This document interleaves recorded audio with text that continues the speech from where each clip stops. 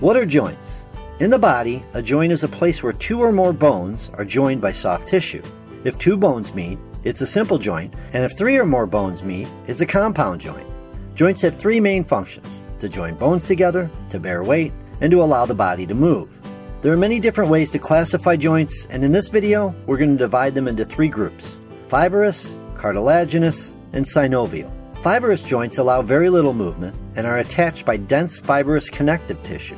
The connection between the radius and the ulna bones in the forearm is an example of a fibrous joint.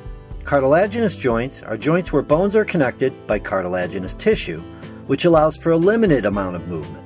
The discs located in the spine are an example of cartilaginous joints. Synovial joints are the most complicated joints in the body, and they're the types of joints that most people think of when they think about joints.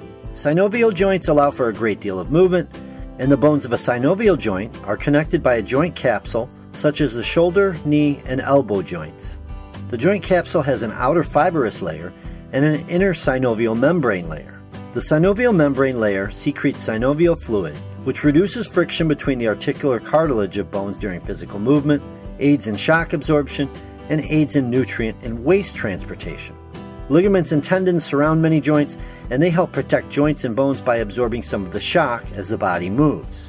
Some common joint injuries include ligament or tendon tears, which limits the range of motion of the joint. This is in many times caused by overuse or overextension of the joint. Meniscal tears in the knee joint, usually caused by wear and tear over time, and damage to articular cartilage that covers ends of bones, usually caused by falling directly onto the joint.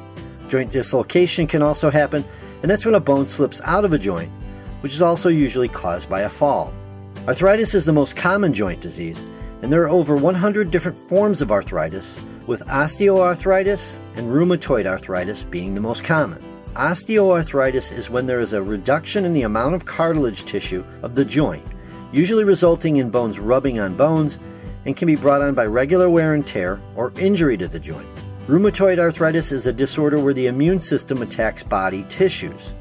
Things you can do to maintain and improve joint health include maintaining a healthy weight, which will put less stress on joints, eat plenty of nutrient dense foods like fruits, veggies, whole grains, and healthy fats, drink plenty of water, which can help joints stay lubricated, stay active, stretch regularly, putting joints through their normal range of motion, and avoid the same repetitive movements. And that be the basics on joints.